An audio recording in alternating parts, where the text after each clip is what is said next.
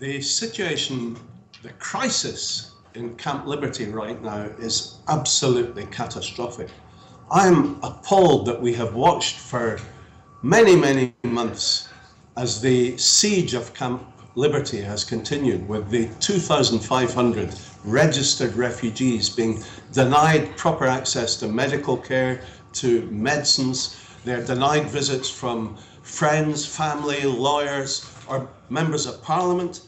It's unbelievable that the United Nations can continue to recommend that this should be uh, called a temporary transit location.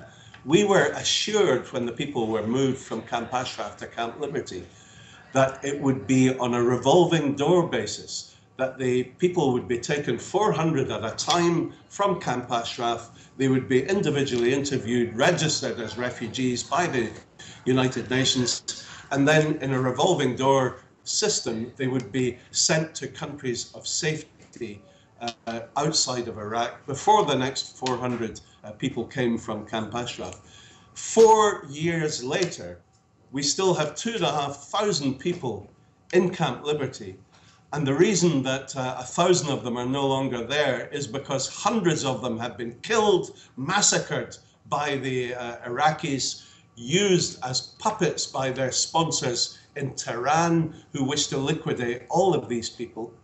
Uh, and the Albanians, who are the only country, not even a member of the EU, who have rescued hundreds of uh, these refugees from Camp Liberty. And we thank the Albanian government from the depths of our heart for their humanitarian purpose. But I want to say to the United Nations, why are they not standing up and being counted? All 2,500 people in Camp Liberty are registered refugees. So how is it that they are incarcerated inside security fences with guard towers with machine guns pointing in at them, not pointing out, protecting them from terrorist attacks. The machine guns are pointing in at them. Why is it that after two days of 50 degrees centigrade heat in Baghdad during Ramadan, the food supplies, fuel supplies, and medical supplies are not being allowed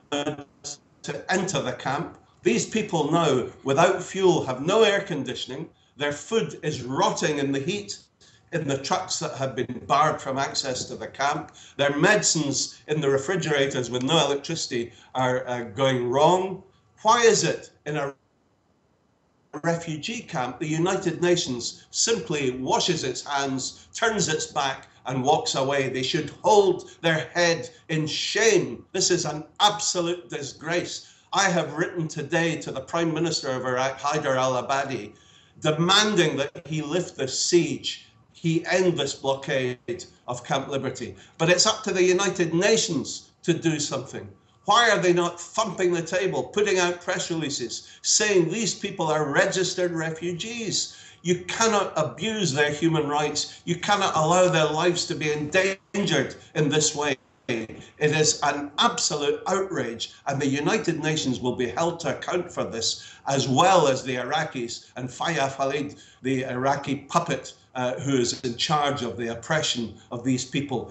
He had better watch his back because he will be brought to The Hague one day, along with his political masters, and they will stand trial for abuse against human rights, for uh, abuse against humanity, for the crimes they have committed. But I call again and finally for the United Nations get off your backsides and do something to help these people.